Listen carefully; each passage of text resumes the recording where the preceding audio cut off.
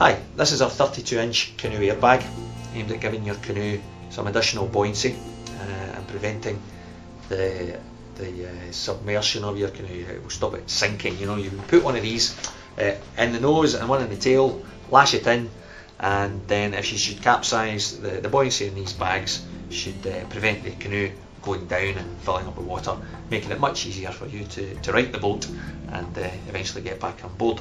So quite a simple uh, simple design. You can get a, an idea of the, the size of it from me uh, holding it here.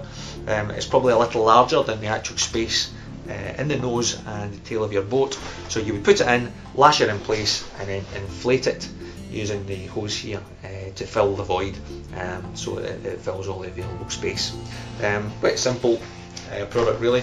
At the top here we've got some simple lashing points uh, used to help you position it, but really the, the strength of this comes from the lashing method you use. So uh, you get various lashing kits for various boats. Your boats may have one, or you may have to retrofit or improvise to uh, make some lashing points to uh, to hold the bags in place so that when uh, a capsize occurs, the, the load is spread through the lines that you have uh, keeping the bag in place.